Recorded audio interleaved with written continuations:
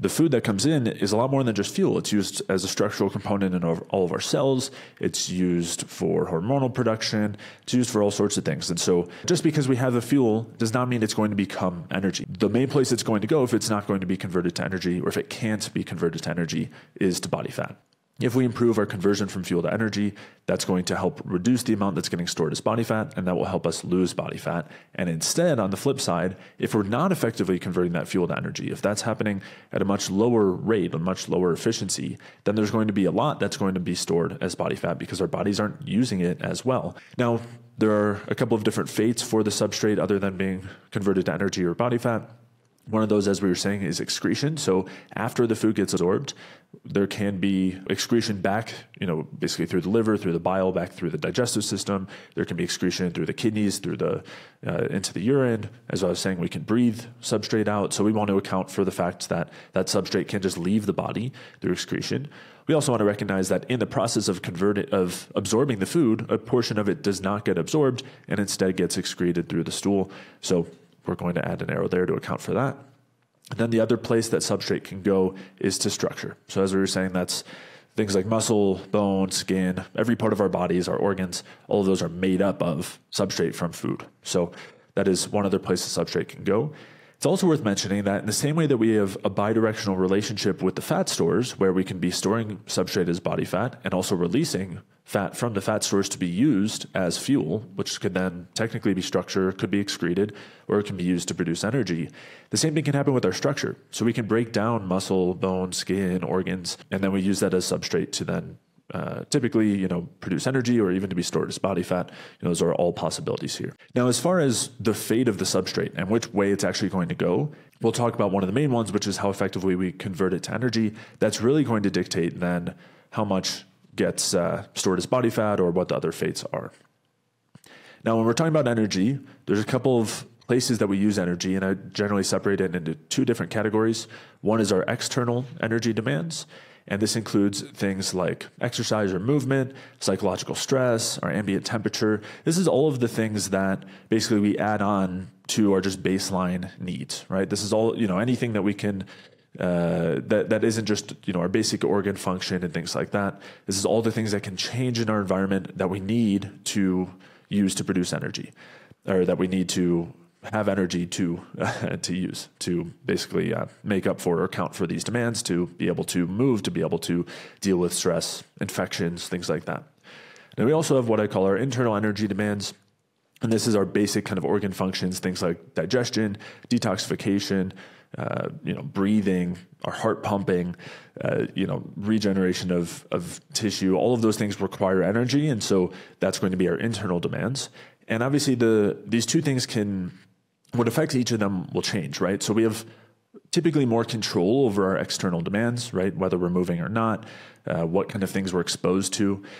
Whereas our internal demands are, they're not fixed. They can change a lot, but we can't choose whether we're going to increase or, or decrease them, right? We can choose what kind of temperature we expose ourselves to to an extent, but we can't choose whether or not we want to increase our detoxification systems or not. There's no getting around it. If we ran five miles, we have to put energy to that.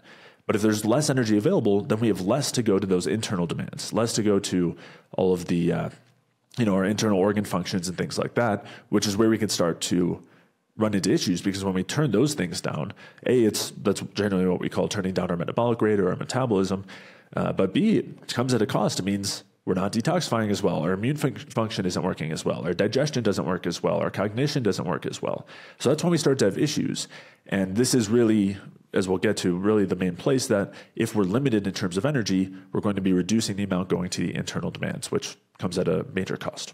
So, as I was alluding to, there is a really important distinction made with this approach, which is that this, the fuel that we have from the food, or we'll call it the substrate, doesn't automatically become energy, right? There's an important difference. There's a distinction between the substrate or the fuel and the energy, and there's a lot of steps involved there.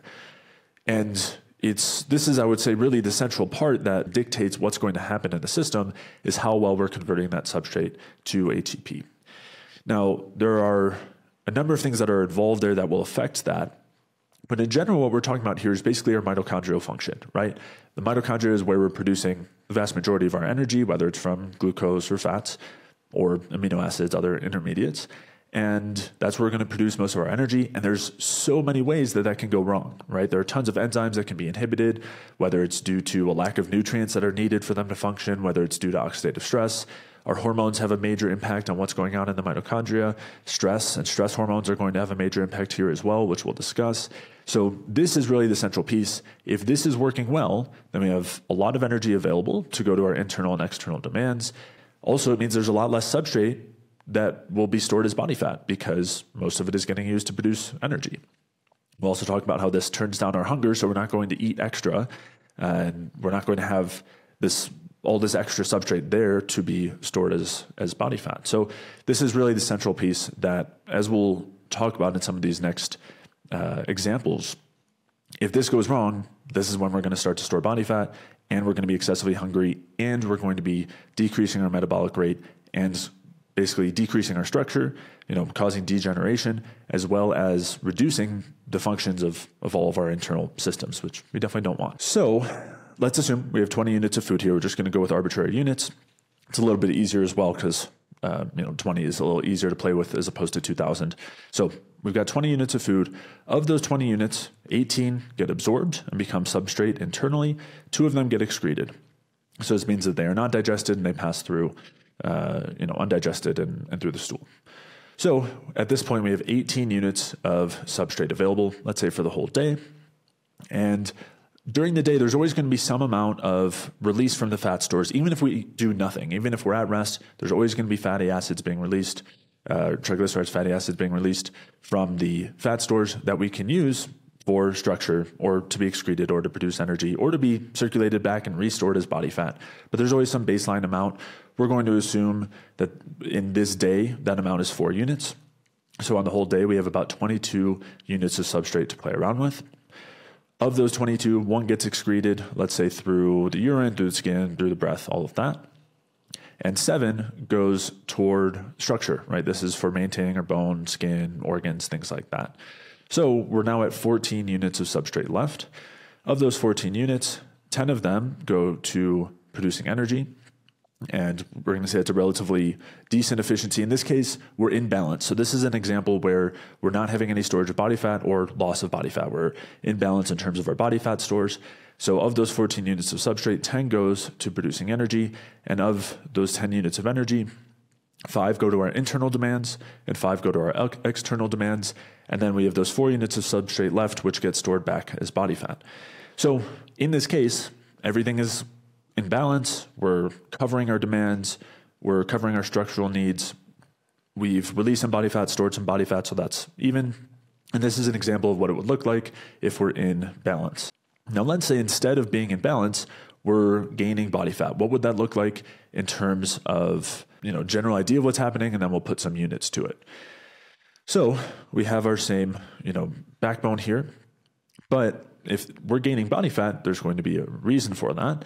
And the primary reason is going to be that there's impaired energy production. Basically, our mitochondrial function is not ideal. There's impairments there. It's not as efficient as it would be otherwise. This could be, again, due to nutrient uh, deficiencies, due to hormones, due to stress, due to endotoxin, heavy metals, infections, tons of different things can affect how well we convert uh, the food or the substrate into energy.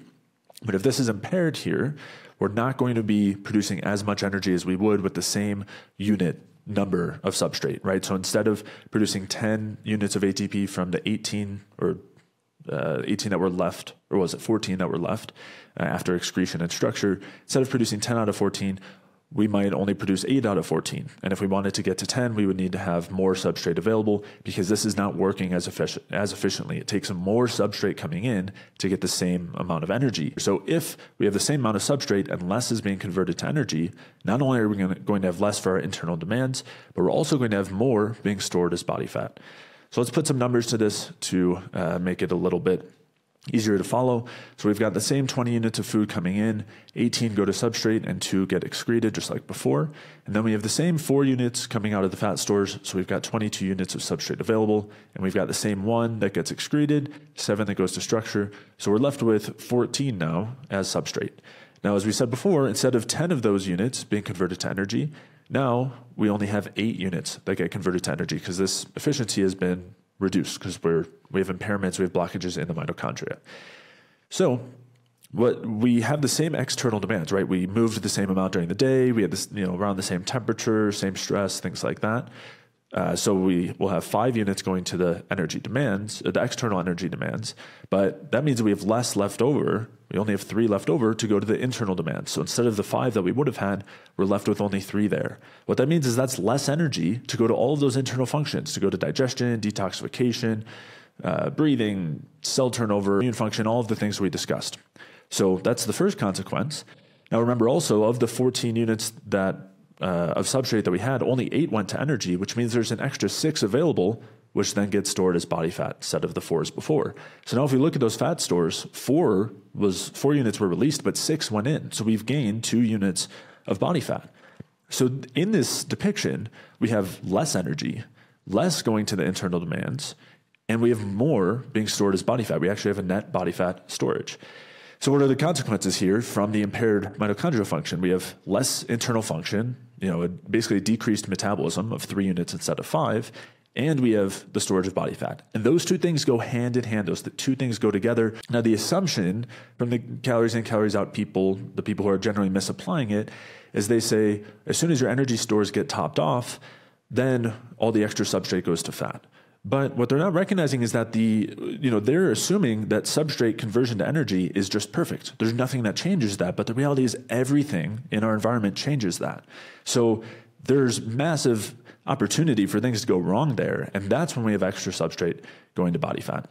So a couple of really important points here.